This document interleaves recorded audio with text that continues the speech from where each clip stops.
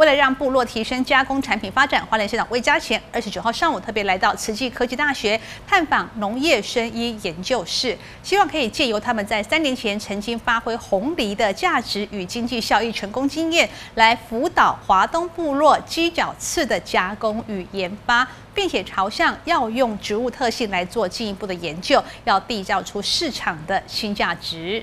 二十九号上午，市长魏家贤及原型科长甄雅婷等人来到了慈济科技大学农业生医研究室，看着教授及同学们拿着商品，一一向他们介绍过去辅导过的成功案例，也让市长对于华东部落的鸡脚刺产品发展更具信心。他希望可以利用慈科大的专业资源，协助辅导部落族人，对于鸡脚刺加工开发之外，也可以朝药用植物的特性来做进一步的研究发展。那我们这次也把我们大本部落哈过去一直在推广的鸡脚翅，那一个茶饮包的部分也也来跟老师来做一个咨询，希望未来有机会可以跟慈科大还有东华大学育成中心共同来合作，能够把部落的一个好的东西，能够把它做一个向上的提升。那我们更希望哈未来提升每一个部落在推广部落的产品的时候。都能够有一个品质认证的部分。那今天也看到老师有非常多研究的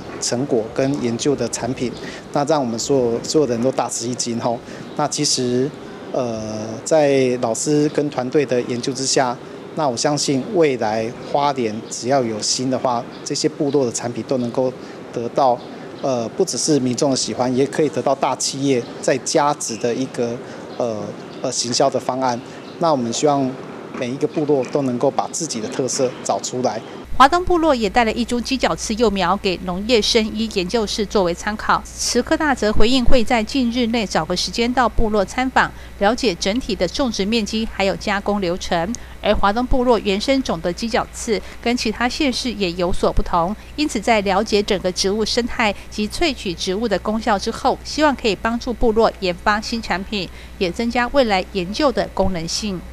谢徐丽琴，华联市报道。